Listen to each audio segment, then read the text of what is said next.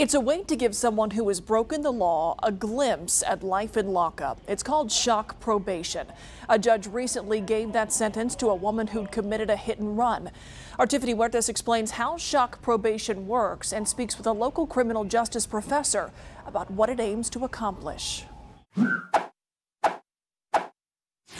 His brain injury, that's going to be a long journey of learning how to do and function. In 2017, Private First Class Matthew Belknap, a Fort Sam Houston soldier, was on his bike on the way to work when he was critically injured by a hit and run driver. At the time, his wife was pregnant and she became his sole caretaker.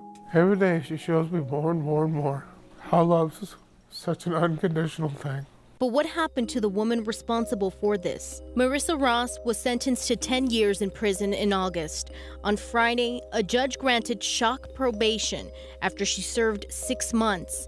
So, what exactly is shock probation? Criminal justice professor Richard Hartley explains. It sends convicted offenders to prison for a short period of time, say 30 days, 60 days, or 90 days and then based on their behavior in prison, the judge could bring them back and resentence them to probation. Hartley says shock probation can be approved for low level nonviolent offenders or first time offenders, but it's ultimately up to the judge. The idea behind it is to expose people to the realities of life behind bars. Hopefully, it would reduce um, recidivism, right? So that they would complete their probation, they won't commit another crime again. Ross will now serve 10 years probation.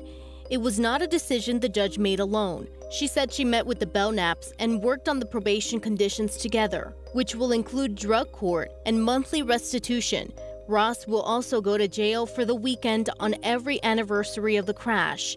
The judge said Ross will also spend two weeks with the victim's family to help with care of the victim. Matthew's wife sent us this statement saying, I pray the relationship we will inevitably have will truly impact her in a much harder way than prison will. Possibly a hope for other states that use similar forms of shock probation. They're realizing that traditional periods of incarceration have not done anything. For the Nine, Tiffany Huertas,